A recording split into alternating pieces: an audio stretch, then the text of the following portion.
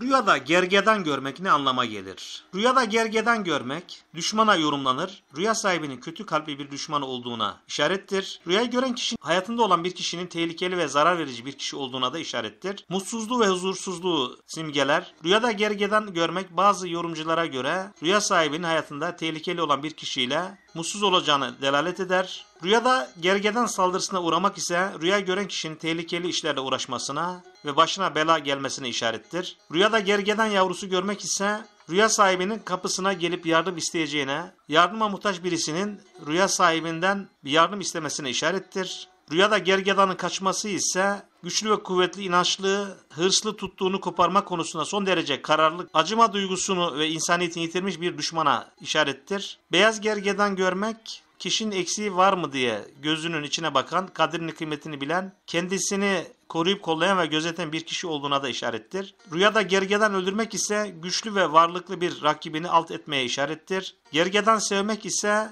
rüya sahibinin yüzünün güleceği olaylar yaşayacağına da işarettir. Rüyada gergedan eti yediğini görmek ise kişinin kardeşler arasında kıskanç birisi tarafından nifak tohumu ekilmesine delalet eder. Rüyaların en doğru yorumunu yüce yaratıcı bilir. Hayırlı ve güzel rüyalar görmeniz dilek ve temennisiyle.